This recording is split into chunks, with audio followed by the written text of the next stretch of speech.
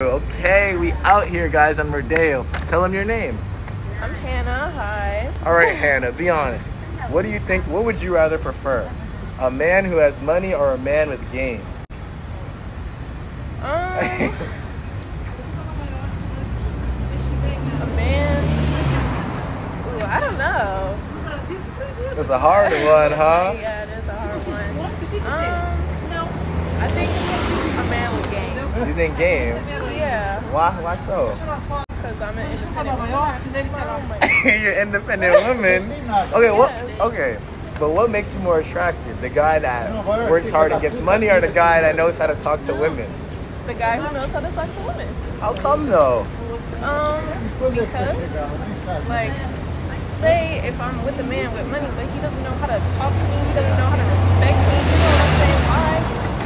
Why would I with him? So why do you think some men think getting money will solve their problems with women? Um, because men think materialistic. For real, huh? Yeah. Okay, thank you, Hannah. You're welcome. Thank you for that answer. We needed that. I appreciate you, sweetie. Wait, you Appreciate it. You just chilling out here? Yeah. Just walking around. For real, huh? It's so hot.